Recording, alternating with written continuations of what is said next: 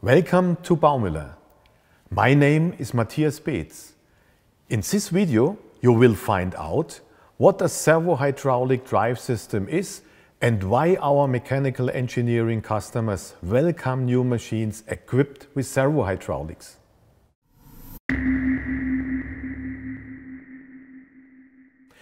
In professional circles, the terms that appear in relation to servo-hydraulics are somewhat unclearly defined. We at Baumüller speak of a servo-hydraulic drive system, or servo-hydraulics for short, if a constant hydraulic pump is driven by a speed-controlled motor, for example, a servo motor. We occasionally speak of a servo pump, which means the same thing. In classic hydraulic machines, the pumps are driven by uncontrolled standard motors. This has many disadvantages, the worst of which is the energy wastage. The motor simply always turns with constant speed, even in phases in which the machine does not need any hydraulic power. In a servo-hydraulic system, we now simply replace the uncontrolled motor with a speed-controlled motor. A converter then adjusts the speed of the motor so that energy is only used if the machine removes hydraulic power. The more pauses there are in the machining cycle, the more energy can be saved. Applications in which this is often the case are, for example, presses or injection molding machines.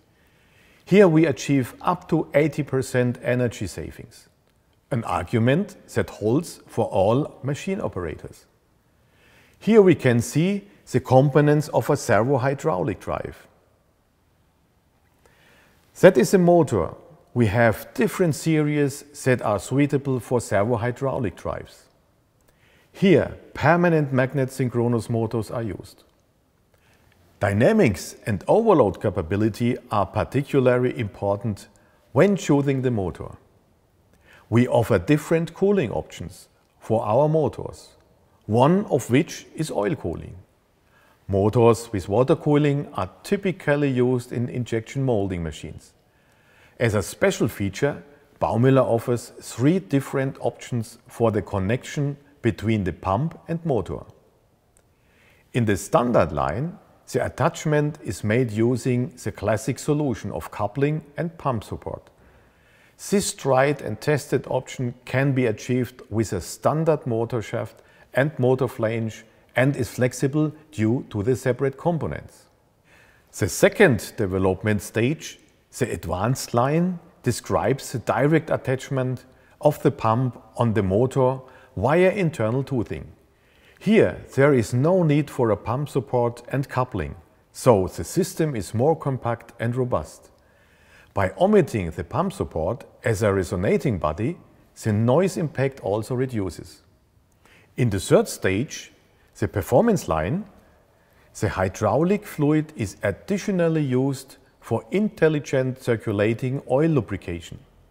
Connections were added here not only to the motor but also to the constant pump so that the leakage flow of the pump can be used for permanent lubrication of the toothing necessary grease lubrication of the internal toothing, which would be due every 3000 operating hours on average, is therefore eliminated and the system is particularly robust.